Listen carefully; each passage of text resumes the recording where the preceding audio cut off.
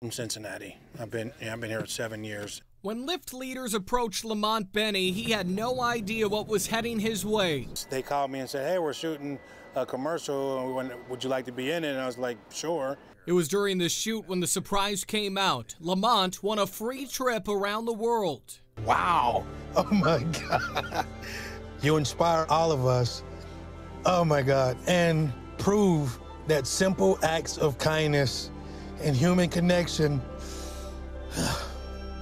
can make a difference. Well, our one and only Lamont is at the top of our uh, ride leaderboard with over 23,000 rides. Good to see you, man. We spoke with Lyft's Seattle general manager Todd Kelsey, and he told us why they wanted to pull this off. In the last year alone, hundreds of passengers have written in uh, about Lamont and how he has, in big ways and small, have uplifted them.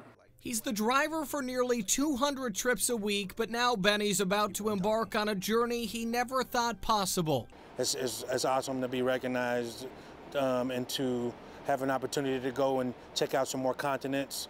Um, I've been to a few places, but I haven't been to all the continents, and that's, you know, I, am going to be able to get that out the way a lot faster, so I'm going to. that's awesome. As we look live here in Storm King on I-90, Lamont's been driving all over this area. Pretty neat guy. And his first trip, he tells me, on this new all expense paid trip around the world is going to be to Australia and then to New Zealand. So it's going to be a pretty exciting thing. Then he's going to head over to South America.